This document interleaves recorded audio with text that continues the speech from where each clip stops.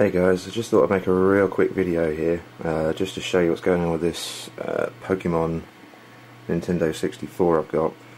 Um, basically, uh, well, I, I, plugged it in. I mean, it was it was pretty dirty anyway, so I was kind of like thinking it was looking like it had been left in the rain or something like that. So what I did was I took it apart, um,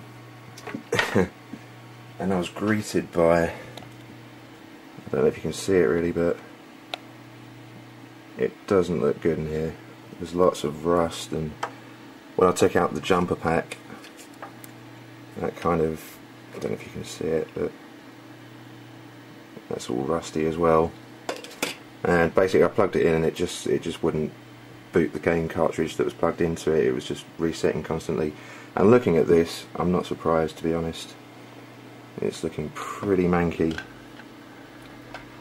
So what I'm going to do is I'm just going to I've got a uh, just a bog standard Nintendo 64 lying around and thankfully it looks as though the motherboard is identical to the one in here.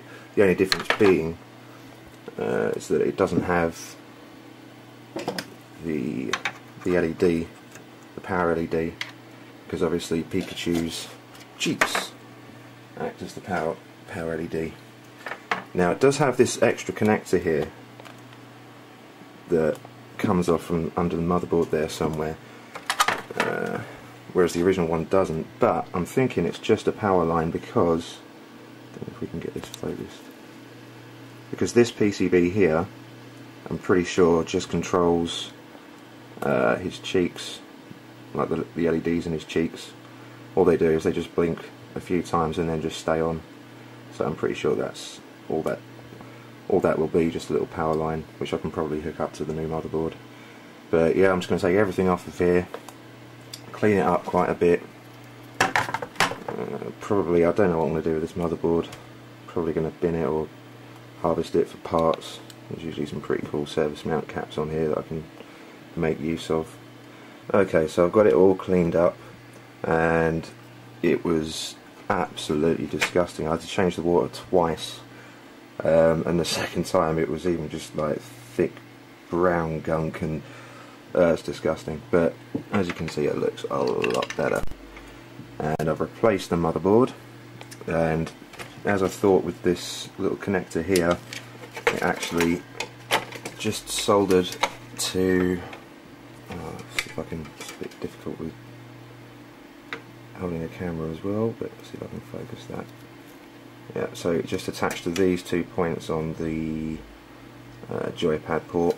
And I've also gone ahead and removed that uh, LED that was there because it was pretty much pointless anyway. Um, since the Pikachu's cheeks there and they've got the little red things in them I'll tell you what tell you that the power's on anyway. Courtesy of this little PCB here and just to give you a little comparison between the uh, motherboards. Uh, this is what the other one looked like underneath. That is disgusting. All that lovely rust. And it kind of went onto the case as well.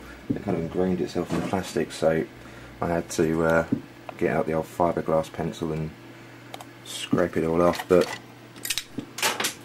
it came up like new which is great. Uh, the top of the case isn't quite as good. Let's have a look here. Uh, don't know if you can see it. There's a few scuffs and this little black pen mark up here which I'll probably take some alcohol to But yeah, come up pretty good. So I guess all that's left to do now, that was a little bit of damage there, unfortunately. What can you do? Now I'll just put it all back together, test her out. Okay, so I've got it all back together and it's looking pretty good. Uh, unfortunately it hasn't, like I said before, hasn't got the uh, the original uh, jumper pack cover on it, but never mind. I've got my expansion back in there, so I figure what cute game have I got that I can try with the cute console? I'll give it a bit of Yoshi's Yoshi's story. Plonk that in there, turn it on, this is little lights going, and it's working perfectly. So there you go. If you ever come across one of these consoles and uh, it doesn't work or there's uh, if it's just like the motherboard's completely wrecked somehow then you can quite easily swap out the main board for that of a normal Nintendo 64 so that's about all I've got for right now so uh, see you later